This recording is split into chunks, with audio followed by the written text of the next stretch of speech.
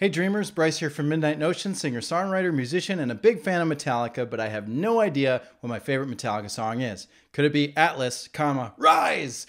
Let's use math to find out. Cue the intro. So take, give it to me now! For the best Metallica song!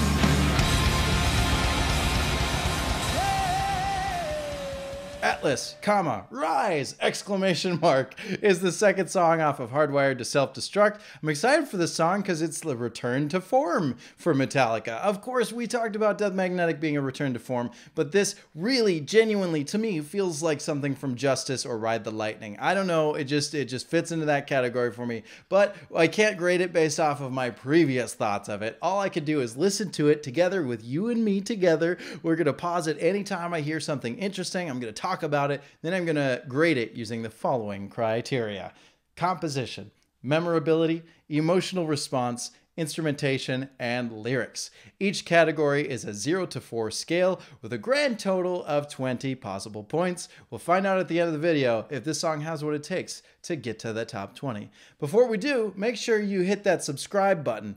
Why? Because I heard if you hit that subscribe button, someone today is going to fall in love with you. And I mean, I guess if you're already in love, too bad. But if you're not in love, congratulations. And if you're already in love, somebody's going to fall even more in love with you. So it works for everybody, really. Let's listen to the song.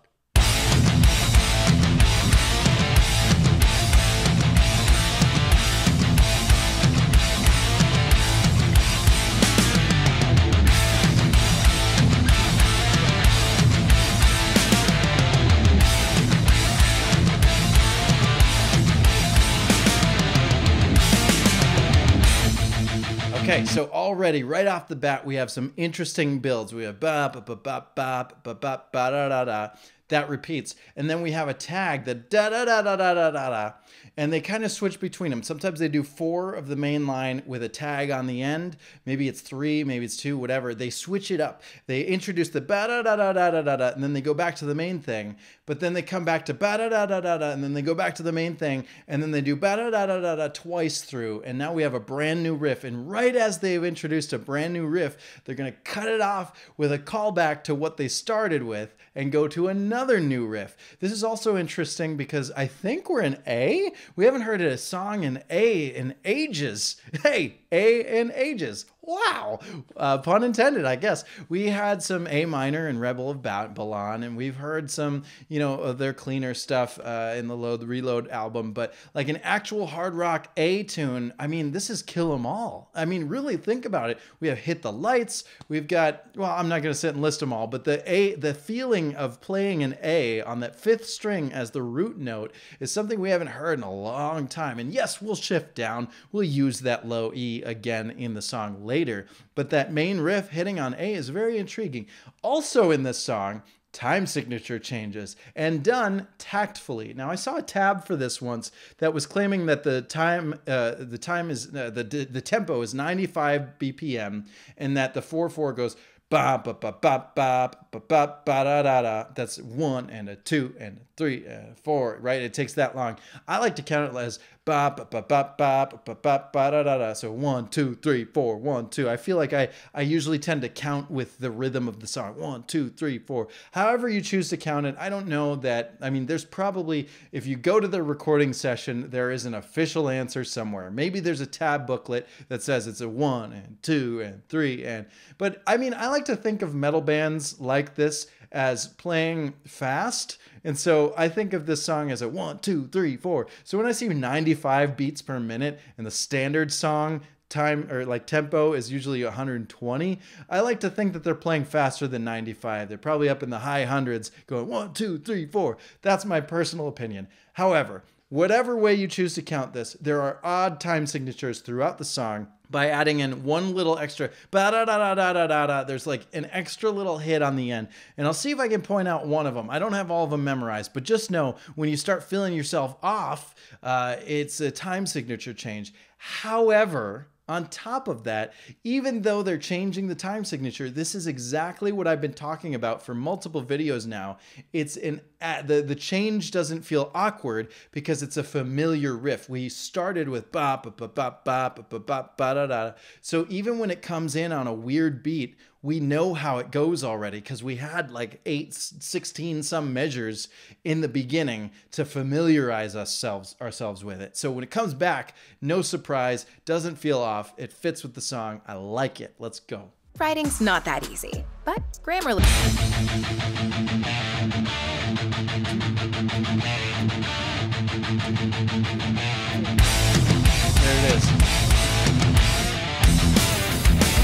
So you see, I had like a one, and then it was like on the and, it switched the ba ba ba ba ba. Very intriguing way of counting. Let's go back just one more time. I want to show you how that goes. Uh, now I'm going to count it the, the way that I would count it. In what they say is eighth notes, what I'm saying is quarter notes. Let's see how that adds up. So it would be a 3 4 measure in my version going straight into the 4 4 of the intro. That's how I would count it. But again, I'm not the official master of all, all compositions. I could be completely wrong. That's just how I feel the song.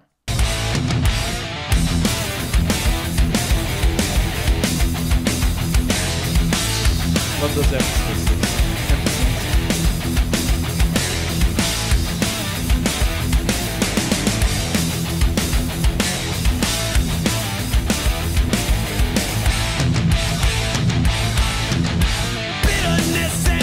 So in that version, there was a bit of there's just a two four measure. It could be just a you could be like a 10-8 or a 9-8 or something in the longer version. But I like that they're switching it up. They're keeping that rhythm interesting. And we just started the vocals. We had a minute of instrumental that kept it uh, really interesting build to it. And each time that those hits they don't feel like an odd time signature because it's not a time signature change but it comes in at different spots i don't know i just think that's really cool Curses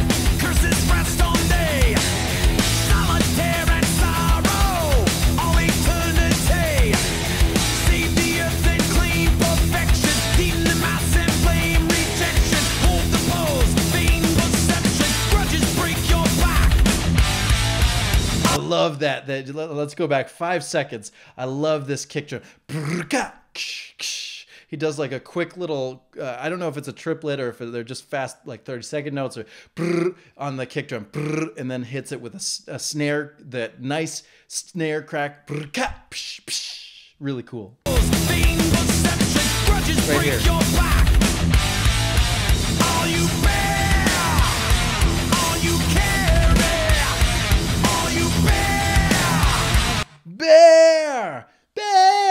bear, bear, bear, bear. He's got a harmony going on there, and that's really, oh, you bear, oh, you bear.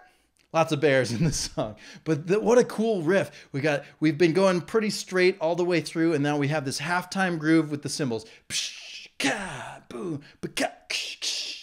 and then just slides, really cool, really cool.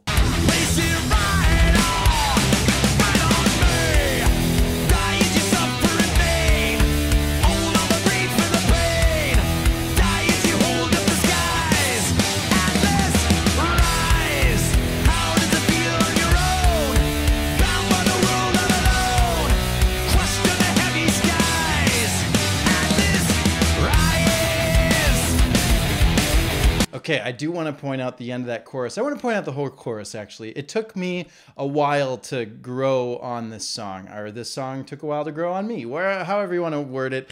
Uh, I just I, there was something about this chorus that didn't initially catch me. Boo da da da da da coo. Boo da da da da da. It, it always kind of felt a little wonky to me, and uh, that's mostly on Lars choosing to do more of a, a, a, a March beat, not a February or an April. It's a March beat. Da da da da da da. Da, da, da, da, da, da, da. This is something someone would play if they're in an orchestra. Um, and it starts with just the kick drum on the hi hat. Psh, psh, psh, psh, boo, ba, da, da, da, da, psh, boo. It's a very simple pattern. It's not really a beat. It's really just kind of uh, emphasizing what the guitars are playing. Ba, da, da, da, da, da, da. Um, but I like I like what happens. We have like that little riff, and then the second time through, we get a climb that has the harmonized solo feel of all of their first records, right? And we got Kill 'Em All, Ride the Lightning, Master Puppets, even Justice. Uh, they have a lot of those songs have those climbing, dueling guitar solos. This has it, but it's not a solo; it's a chorus. Very intriguing, very different. I want you to pay attention to the end of the chorus because this first chorus, each each one is going to end a little bit different. This first one we have a ba ba ba da da da da da psh, okay? We have that weird rhythm ba ba ba ba and then we have a straight drum fill da da da da da da rise. Okay, Atlas da da da da da rise. Okay, we ended on that downbeat. Let's listen to how that changes throughout the song. They're going to add extra sections. Uh, they're going to extend that play through. Um, they're going to come back to other parts and then end the Atlas Rise at different points in future choruses, chorusi, choruses, chorusopodes.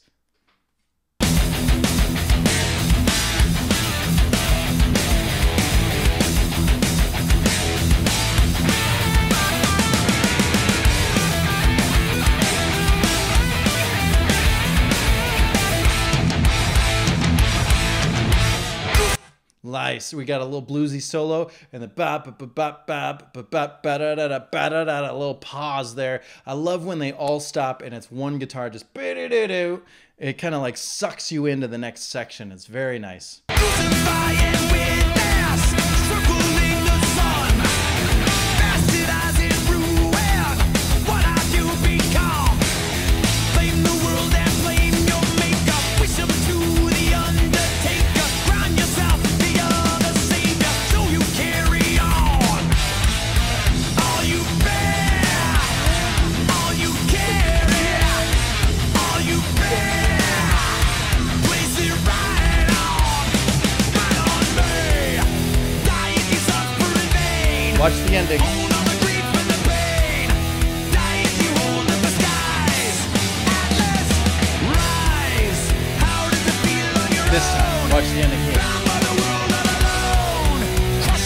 Heavy skies.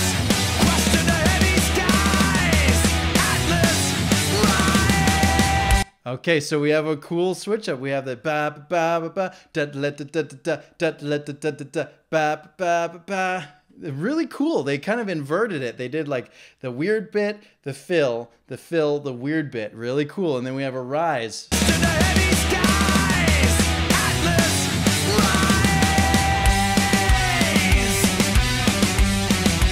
So crushed in the heavy skies gets repeated twice. And now we have this weird climb down that again is very reminiscent of their early records. If you're listening to new Metallica and you're going, I wish they were more like old Metallica. Well, guess what? Here it is. This is your song. You better not trash this one because then you're a hypocrite. but be nice to each other. It's okay. I'm not actually calling you a hypocrite. I'm just I'm not saying you have to like this song. I'm just saying that if you look at all their old songs, the structures, the type of playing, this matches up with it almost to a T. This is absolutely Metallica's old stuff in new recording technology.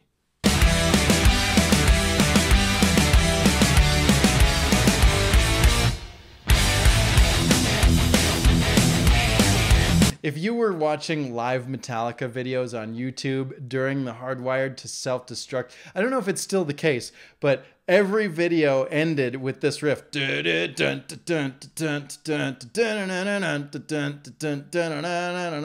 And then they would just loop it, and that was kind of their end screen for their YouTube videos. So if you watched a lot of them in that era, uh, you've probably heard this riff a million times. If not, welcome. I hope you like it.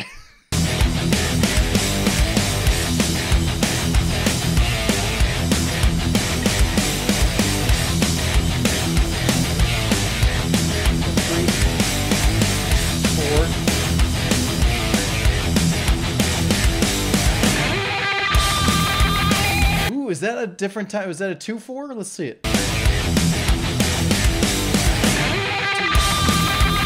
I would call that two four. The other people would probably call it one four or uh, four eight or something. Uh, but I don't know. It seems like two four to me.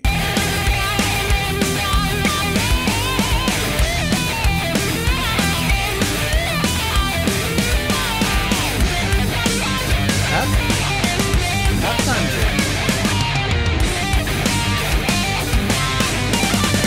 triplet. Ooh. We're coming down. We're coming down. We had dun dun dun dun dun dun dun. dun. Now we're a little bit lower. So are we in G now? Were we in A? Were we in E? I thought that was E, but if they went down, that would mean they're in D. Uh, I don't know what note they're on. Somebody tell me below because I, I don't know. We were in A, but that riff felt very E to me. Uh, do they have drop tune guitars on this song? Mm.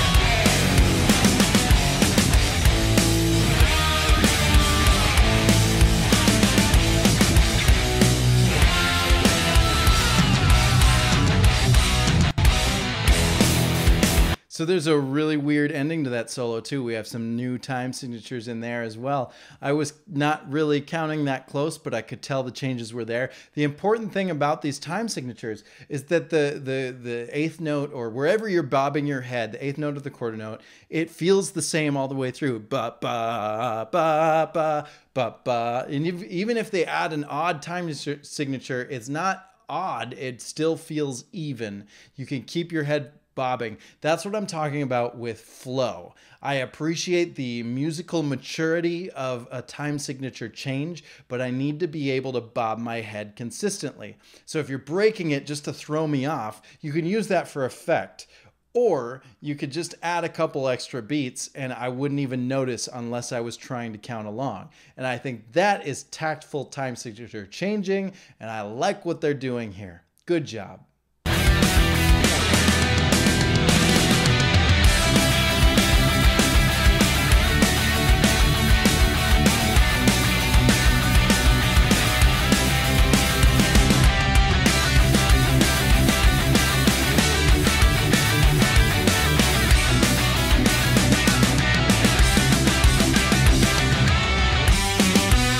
Interesting. We got a dueling harmonized guitar solo with a rhythm guitar but underneath, still doing the dun dun dun dun dun dun.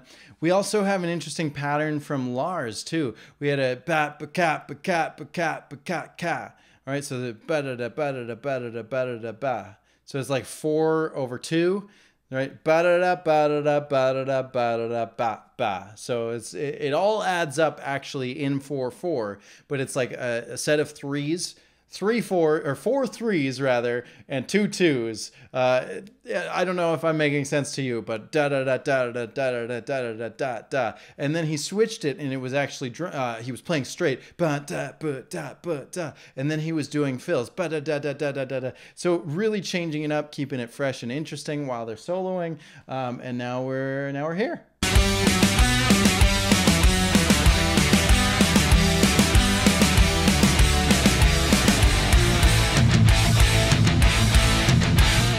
So again, we have the uh, this was the beginning of the bridge section, if you will, the solo section. We come back to the beginning of it. We started it. We had a whole solo. We had a dueling solo. Now we're back to the start of it, and then we have a reference to that very first riff again, our, our motif of the song, the the repeating tagline, ba ba ba ba and now we have our final verse. Masquerade as.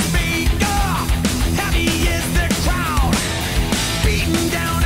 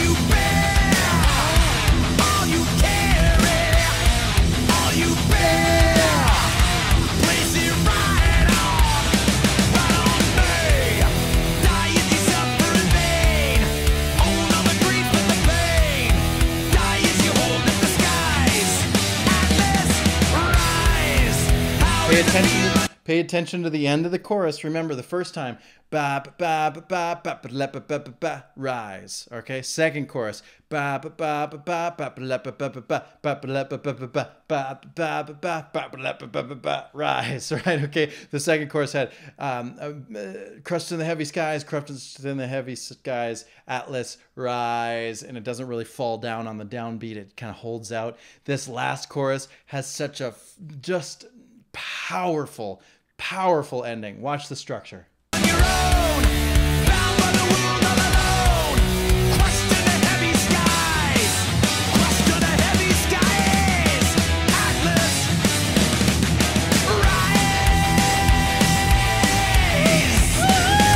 there's a ah, there's a really high Let's go back one more time. I think the difference here is structurally same as the second chorus, right? We do have the one, the da da da da, fill, fill, da da da da and then back to the fill again. So we have like a five part ending, just like the second chorus. The difference is that it, when he goes Atlas rise, that's what he did the second time. He kind of held out rise, and then we came to the next riff. This one he holds on to it. Atlas rise and there's like a there's a rise not only to the line that he's singing but into his vocals.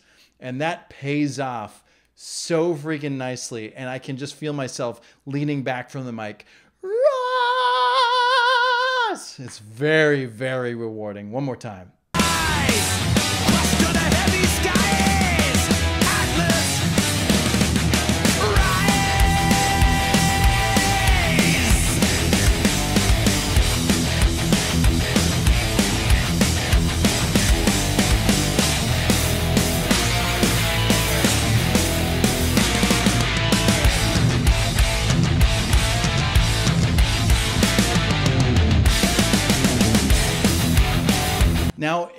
I was writing the song, if I was producing the song, and I'm not, obviously I don't get to change it. It's done, it's already done.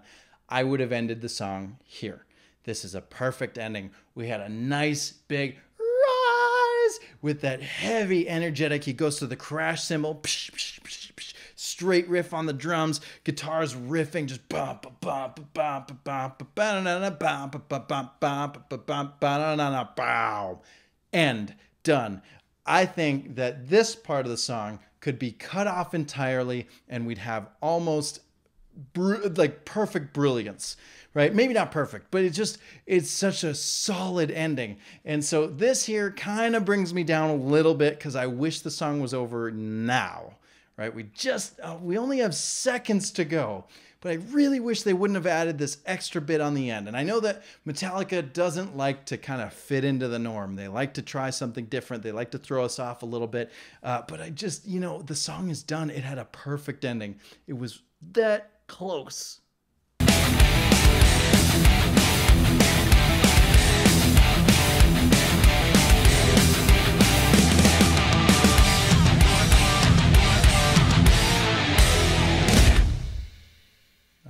right. And there you have it. Atlas, comma, rise with an exclamation mark. Uh, pretty fun song. Let's give this sucker some points, shall we? Whoosh.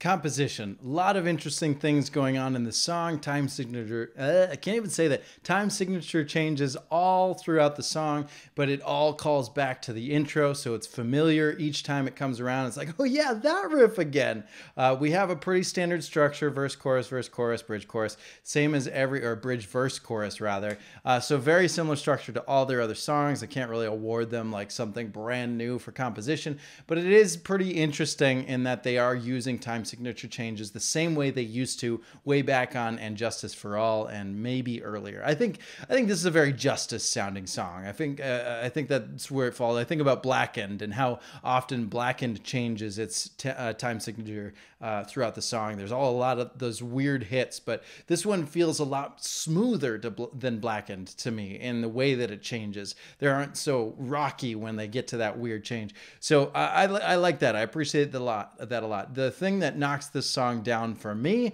is that uh, that outro just doesn't need to be as long as it is. It needs to end a little bit sooner. And there's a couple of parts of this song that's like, ah, I feel like we've been kind of hanging out here for a little too long. We could maybe get to the next part sooner. So just in the in the length of the song, it could be just a little bit tighter. But overall, it's a really cool composition. So ultimately, for me, composition, it's a three. Memorability. I think the most memorable part of the song is right at the end. That big sh- rise. It's just really cool. Atlas rise is only two words. Uh, I guess if you want to count the comma and the exclamation mark, there's a little bit extra there, but uh, we don't we don't sing grammar, so that's fine. Um, I do appreciate that. Atlas rise I think is very memorable. The chorus, uh, I guess you could latch onto it fairly quickly. Uh, the verses don't really stand out. I know it's ba da da da da da da, you know, but I can't really remember all the words. I have to sit down and learn them. I think that that bap bap bap bap bap bap da da da. They play that so many times throughout the song that it's hard to forget. So I think there's a lot of memorable stuff. They could do a little bit more with the lyrics to really let them land, uh, but overall, pretty memorable. So for me, memorability, it's a three. Emotional response. I ha- the song grew on me. I admittedly didn't like it as much right off the bat, but the more I listened to it, the more I enjoyed it. So uh, it does stand uh, tall for me today. I'm positive about it. It's not my, uh, well, I want to say it's not my favorite Metallica song, but we can already tell because I've given it two threes. My favorite one so far is fours across the board. So you already know it's not my favorite, um, but I do appreciate it. And if it came while I was watching them live, I would still sing along. So favorable for me, but they could do better. Emotional response, it's a three. Instrumentation, I have no complaints. I think everybody played really well together. Um, I guess I forgot the solo, but I don't think that it was a bad solo. It wasn't as bad as Hardwired or some of the others before it. I think that, uh, yeah, even with these goofy time signatures, it all locks in together. Everybody feels unified on this one, and I really appreciate that, including the lyrics. Uh, the vocalist, uh, James Hetfield, is doing a very fine job indeed. So, no complaints. Instrumentally, four. Lyrics. This song references uh, obviously Atlas. It's a Greek mythological hero who is cursed to carry the world on his back. He's got to carry everything, all you bear, all you carry, right? He's got it right on his back. And something about the chorus feels like uh, whoever's singing the song is offering to take some of that burden off. But then you look at the verses, and the verses are very like, hey, you're kind of you kind of sound like you're, um, you know, a self-proclaimed prophet in a way. We see the word martyr. We saw that again back on Rebel of Babylon, and that was just kind of a demo EP. It's not really a song that they play, so we could see maybe some copy pasting going, a lot of religious symbolism going on here, putting on a crown and well, actually, I don't even know. I'm recording multiple videos in one day, so I might be getting mixed up. But there's all this imagery in this song uh, about carrying the burden of the world, but then cursing the world and saying, like, hey, you gave me this problem, but you're kind of taking it on yourself. So you're kind of to blame. Maybe you should relieve yourself of some of that pain. So, in an odd way, this song is kind of positive? Question mark? I want to read something I saw in an interview. While I was reading the lyrics, I quickly checked. I wanted to see if there was another meaning behind some of this. And I found this interesting uh, quote from, from James Hetfield himself, Rolling Stone Australia. This is what he said quote, Lars is, I have to do everything or else it's wrong. He's got the weight of so much on him. And Atlas Rise started out as a, here, let me help you with that. You don't need to carry all that, brother. And then it morphed into more, and this is not specifically him, but I'm plugging him into this. I think he likes that. There's a drama that makes him work, and we all have a, a bit of that. He wants the control, but he doesn't really have control. The illusion of control, and then the ability to complain about how you have to do everything yourself, and then you still do it. Uh, really interesting quote there from James. And when I read that, I suddenly felt this song a little bit heavier. As some of you, I hope most of you know, I am a solo artist. I write all my own music, I produce my own music, I produce my own videos, I film and edit all of this every single day. I'm doing a lot of stuff all by myself. Now, when I do play live, I do have a band and they're very helpful. You've seen them in a few of my music videos on this channel. They're wonderful human beings, and I so so, so, so love that they are on board to help me bring this stuff to life. But it is a lot of stuff to carry. And I could just say, you know what? I don't need to make music anymore. I could just turn it all off and go about my life doing something else. I'm a writer. I'm a I, I do uh, I do acting. I do improv. I could film stuff. I could edit stuff. I have so many skills, right? But I love making music. But it also is kind of a burden. But I also love it. What do you do? You know. So I I will to my friends complain a lot, like, oh, I just wish I could get this song out. I wish I could record it sooner. I wish I could produce it sooner. I could wish it was better equipment. Blah blah blah blah blah. It is a big burdensome weight. But also I'm doing it to myself, and I do appreciate when people lend a hand. So if you want to leave a tip, you can do so. Uh, it's in the description a link to the PayPal if you want to leave a tip. I'm not saying that you have to. I am saying that I would be gracious to have a little help to get this setup looking even better than it does now. I always like better gear. Uh, but yeah, anyway, that's that's my life, and I can now connect with this song. But I also recognize that this song also has layers of, hey, maybe you shouldn't take that all on. And I think there's a little bit of, you know, whatever. There's some weight to the song. So I really like what they're saying. I appreciate these lyrics a lot. I have no complaints. It's a four. And so Atlas Rise gets a grand total of 17 points. It is not enough to get to the top 20. Barely missed it. It's in 30th place and it's actually tied. Should I tell you what it's tied with? I don't know if the internet wants to know.